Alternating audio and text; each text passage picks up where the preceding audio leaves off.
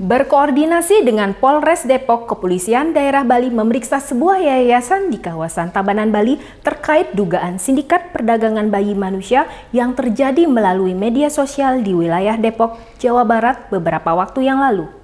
Proses pendalaman dan penyelidikan masih terus berlanjut serta 12 orang telah diperiksa dan ditetapkan sebagai saksi.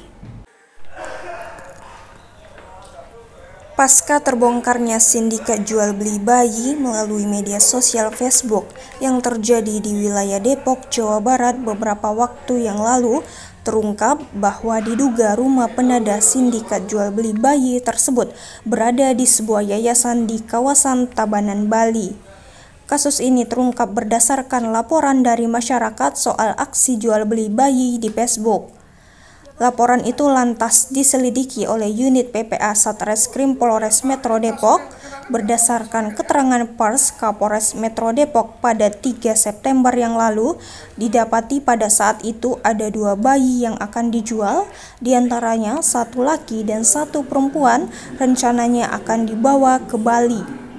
Kabit Humas Polda Bali Kombes Pol Johnson Apitus Panjaitan mengatakan Polda Bali bersama Polres Depok saat ini sedang mengembangkan dan mendalami apakah ada keterkaitan dengan temuan dugaan sindikat jual beli bayi yang ada di Depok dengan yayasan yang ada di Tabanan, Bali. Johnson mengatakan sejauh ini petugas sudah memeriksa 12 orang terkait yayasan tersebut dan kini mereka masih berstatus sebagai saksi.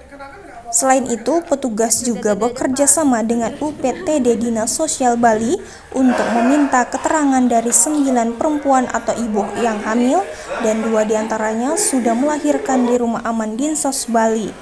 Adapun tujuh perempuan lain yang masih hamil ada yang berada di dalam dan di luar Pulau Bali.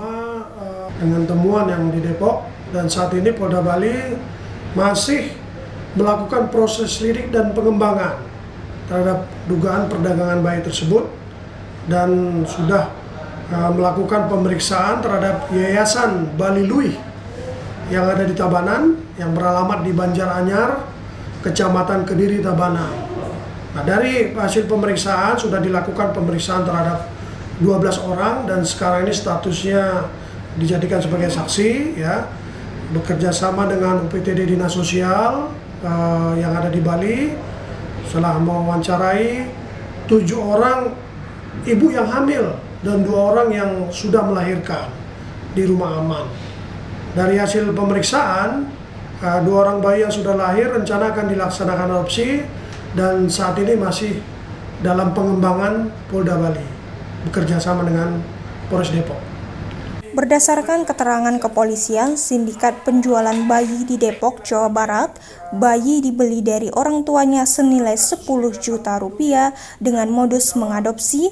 Bayi tersebut lalu dijual ke pengadopsi senilai 45 juta rupiah.